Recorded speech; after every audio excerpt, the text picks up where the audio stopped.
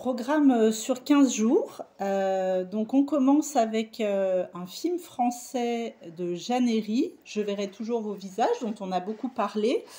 Euh, Jeanne est la réalisatrice de Je l'adore et Pupille, qui avait très bien marché. C'est la fille de Miu Miu et Julien Clerc, pour ceux qui ne le sauraient pas. Et là, elle propose un sujet méconnu, la question de la justice restaurative qu'on ne connaît pas forcément côté grand public.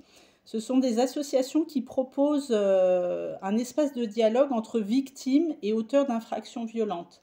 Donc ce n'est pas forcément euh, la personne qui a attaqué une autre qui se retrouve face à face. Euh, les gens ne se connaissent pas forcément, mais c'est comment chacun, en parlant de ce qu'il a ressenti en étant agressé, et les, agresseurs, comment chacun, en se parlant, et en donnant leur point de vue, peuvent se reconstruire, peuvent avancer, peuvent se comprendre. Donc le film euh, est construit essentiellement autour de la parole, évidemment, c'est une mise en scène autour de la parole, à travers des séries d'entretiens euh, et des tours de table. Voilà, le, casting est assez incroyable, il n'y a que des acteurs connus. Donc, euh, je verrai toujours vos visages. Ensuite, nous aurons en sortie nationale La vie pour de vrai, nouveau film de Danny Boone avec son acolyte euh, Merad et une nouvelle venue, euh, Charlotte Gainsbourg. Apparemment, le trio s'est entendu comme euh, larron en foire.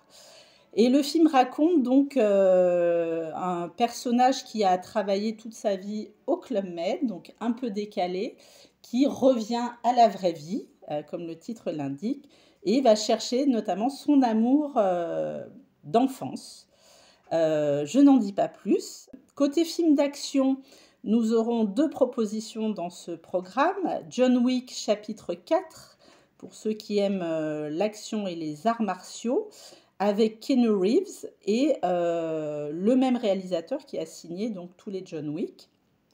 Et je précise qu'en ce moment, on peut voir sur Internet un documentaire sur Keanu Reeves absolument passionnant. Donc vous pouvez compléter euh, ce film en voyant le documentaire sur cet acteur euh, qu'on a connu jeune et qu'on voit évoluer euh, au gré du cinéma. Et nous aurons autre film, donc grand public, action, Donjons et Dragons, l'honneur des voleurs. Donc pour les amateurs du légendaire jeu de rôle, une adaptation cinématographique pleine d'action et d'humour. Dans un genre complètement différent, euh, nous proposons Le Bleu du Caftan, donc euh, film de la marocaine Mariam Touzani, euh, qui se passe dans un magasin traditionnel de caftan dans la Médina de Salé. Donc on découvre notamment cette, cette, tradition du caftan qui est en train de se perdre. Hein. Il y en a presque plus qui travaillent comme euh, le personnage principal Alim dans le film. Et donc ce couple euh, très, très aimant a un secret qu'on va découvrir au gré du film. C'est un film vraiment très délicat, euh, tout en subtilité, où on devine petit à petit les choses. c'est très très émouvant. Donc Mina, donc, qui est jouée par la merveilleuse Lumna Azabal, euh, est malade et euh, ils vont prendre donc un apprenti euh, pour aider au magasin. Et il y a un très beau trio qui va se former entre ce jeune apprenti, ce couple et l'accompagnement de la maladie de Mina. donc il est question évidemment d'homosexualité, ce qui était vraiment un, souci au Maroc, et comment on peut finalement être homosexuel et aimer très fort sa femme. C'est un très bel amour. Alors préparez vos mouchoirs. Hein. Moi j'ai beaucoup pleuré. Euh, voilà, mais c'est très très beau, très fin. Euh, nous aurons un ciné-mémoire dans ce programme. Donc c'est le merveilleux Ghost Dog, euh, La voix du samouraï de Jim Jarmusch, un de ses plus beaux films qui ressort en copie restaurée. Le film date de 1999, donc il a plus de 20 ans quand même.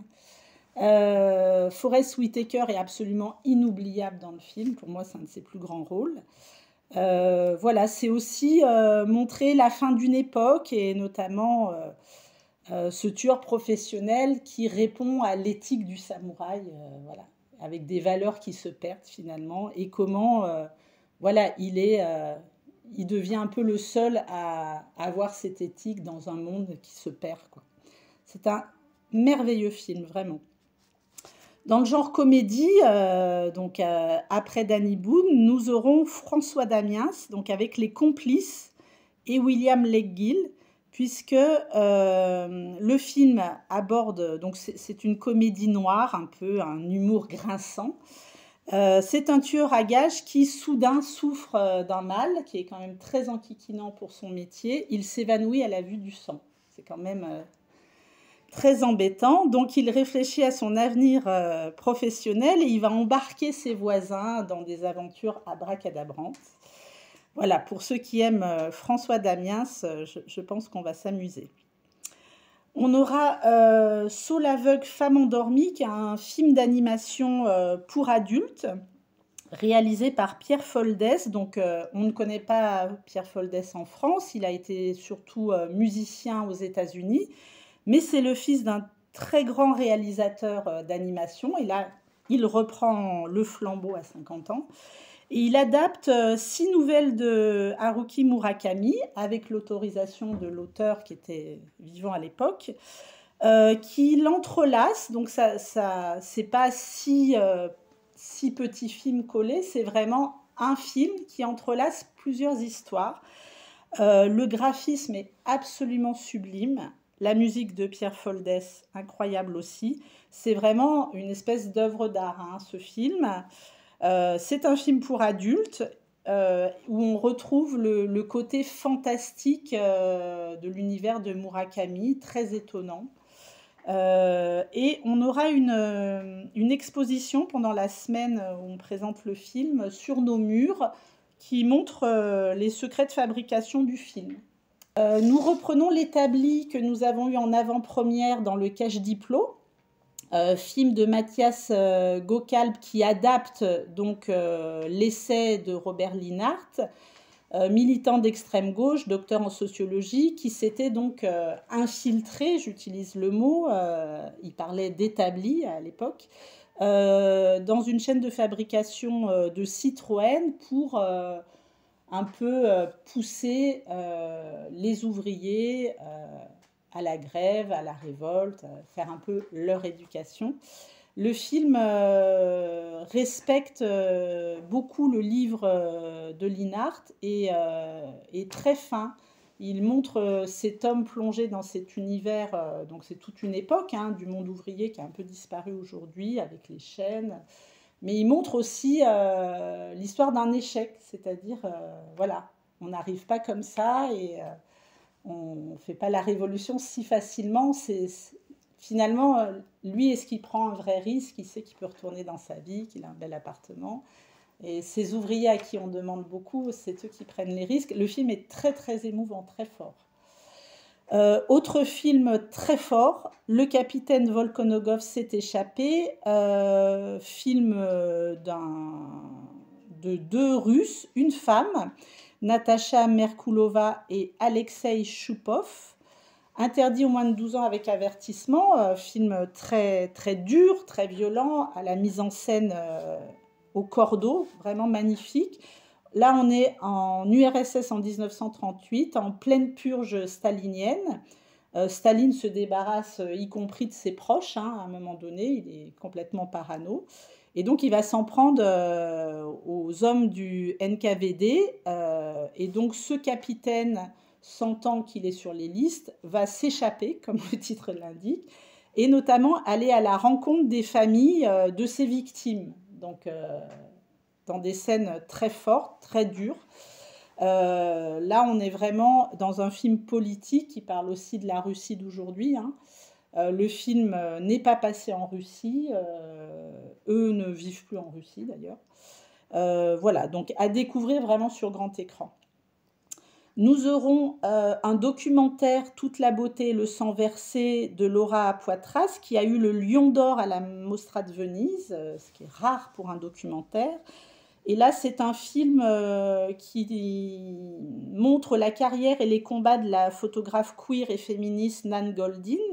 C'est un film très riche puisque non seulement il parle du travail photographique de Nan Goldin, il parle aussi euh, de sa vie euh, personnelle et des drames qu'elle a pu connaître. Et il montre ses actions en tant qu'activiste puisqu'elle lutte elle a été euh, accro aux opiacés. Aux États-Unis, euh, il y a énormément de gens qui meurent à cause de ces opiacés qu'on a, qu'on a prescrits aux gens très facilement. Et donc, elle est en lutte contre la famille Sacker. Euh, il y a des scènes très très fortes dans le film, donc d'activisme. Elle pousse notamment les musées qui acceptent de l'argent de ces laboratoires à ne pas accepter cet argent et les artistes à ne pas exposer là où il y a de l'argent des mécènes euh, qu'elle juge pas propre. Quoi. Et euh, il y a une scène euh, hallucinante dans le film où elle parle aux, enfants, petits-enfants de la famille Sacker en visio. Enfin, il y, a une scène hallucinante où ils sont face à ce qu'on leur reproche. voilà, donc vraiment un film absolument incroyable. Le Cache Diplo euh, propose euh, La mine du diable, film euh, qui se passe au Pérou, aux frontières entre fiction et documentaire, avec des acteurs non professionnels, un noir et blanc somptueux. On ne sait plus trop où on est. en tous les cas, c'est un film qui parle de l'exploitation de l'homme par l'homme dans les mines. Hein pour euh, gagner de l'argent, tous ces gens qui partent, euh, qui s'exilent euh, pour travailler dans les mines en espérant faire fortune. Donc le film sera accompagné par les amis du monde diplomatique comme d'habitude et l'intervenant est Martin Cavero Castillo, doctorant en anthropologie. Les séances du doc sont des séances que nous organisons avec les yeux verts et la médiathèque de Saint-Junien et là, nous aurons un, documentaire qui aurait pu être dans Horizon Vert, d'ailleurs, Son of Fukushima, qui est un documentaire animé, donc qui mêle euh, animation et documentaire. Et c'est l'histoire d'une famille euh, japonaise qui a quand même connu euh, deux drames liés au nucléaire, le bombardement d'Hiroshima et la catastrophe nucléaire de Fukushima. Et le film montre notamment comment à Fukushima, euh, on nettoie la zone. C'est assez incroyable parce que petit à petit, ils changent toute la Terre. Donc on voit, euh, euh, voilà, imaginez changer la Terre de toute une ville et les empaqueter, les stocker. enfin bon, c'est, ça laisse perplexe. Hein. sur le jeune public, nous aurons La naissance des oasis, qui est un programme de court métrage à partir de 3 ans avec notamment euh, le film qui donne son titre au programme, La naissance des oasis, qui est un film coloré, très très beau sur une amitié euh, improbable. Et euh, le dimanche, le mercredi 26 avril à 15h, nous aurons un atelier créatif Décore ton serpent de bois, lié justement à ce film La naissance des oasis.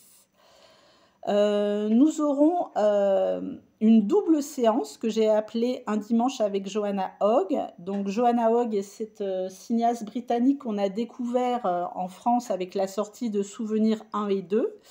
Là, elle sort son nouveau film, Eternal Daughter, avec toujours Tilda Swinton, puisqu'elles sont amies depuis leurs études. et Tilda Swinton est fidèle à cette cinéaste qu'elle encense et que nous découvrons seulement maintenant. Euh, et, profitant de la sortie de ce nouveau film Eternal Daughter où Tilda Swinton joue un double rôle, elle joue la mère et la fille, euh, ressortent euh, les premiers films de Joanna Hogg. Donc j'ai choisi de mettre Eternal Daughter et Exhibition, qui est un film qui date de 2013, que j'ai eu la chance de découvrir au Festival de La Rochelle, qui est un film absolument sublime. Moi, grosse claque. Je me suis dit, cette cinéaste est incroyable. Euh, qui se passe à Londres dans une maison d'architecte qui, je crois, est détruite depuis. Et c'est une mise en scène d'une intelligence incroyable autour du voir, ne pas voir. Cette maison a des grandes baies vitrées. et c'est comment une maison garde la vie de ses occupants et voilà les souvenirs et les drames qu'ils ont pu vivre et comment on se détache finalement. Ils, décident de vendre cette maison, c'est très dur pour eux. ça, ça, en dit long aussi sur l'état de leur couple, évidemment. Euh, et c'est comment tous les souvenirs et tout ce que garde cette maison euh, revient. C'est très très beau. C'est vraiment magnifique. Et enfin, euh, autre double séance qui répond à une pièce de théâtre qui aura lieu le 27 avril à 20h30 à la Mégisserie, Un corps en soi, pièce de théâtre qui parle euh, des violences faites aux femmes et comment de génération en génération on peut porter euh, voilà, des, choses euh, des générations précédentes. J'ai proposé à la metteuse en scène de réagir à deux films qui me semblaient répondre à la pièce de théâtre et elle viendra en parler. Donc on va voir à 18h El Agua, film espagnol où on voit effectivement dans ce petit village d'Espagne cette famille, mère, fille et grand-mère, qui semble porter une malédiction euh, liée à l'eau. Euh, je n'en dis pas plus. Le film a une atmosphère d'été avec euh, effectivement ces taux, ces non-dits, ces trois générations de femmes. Euh, il fait chaud, euh, il y a une histoire d'amour naissante euh, entre cette jeune fille. c'est une très belle réussite. et Woman Talking, dont on a beaucoup parlé, puisqu'il a été l'Oscar de la meilleure adaptation, film de Sarah Paulet qui se passe dans une colonie religieuse isolée et comment un groupe de femmes va effectivement décider de réagir à une série d'agressions sexuelles commises par les hommes de la colonie. Donc voilà, ce sont des sujets forts, des sujets de femmes. Euh, et donc euh, la réalisatrice, la metteuse en scène et l'équipe de la pièce de théâtre seront là pour accompagner les films et euh, réagir aux thématiques des films et parler du spectacle du lendemain. Reste programme.